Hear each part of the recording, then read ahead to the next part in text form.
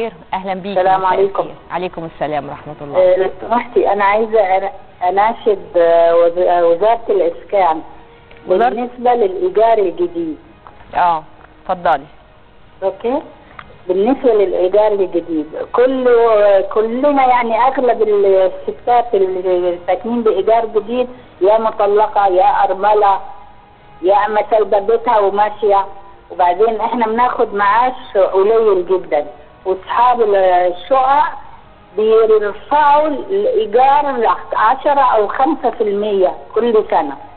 طب ده إمتى يعني أنا دلوقتي الإيجار بتاعي بقى 2300 جنيه.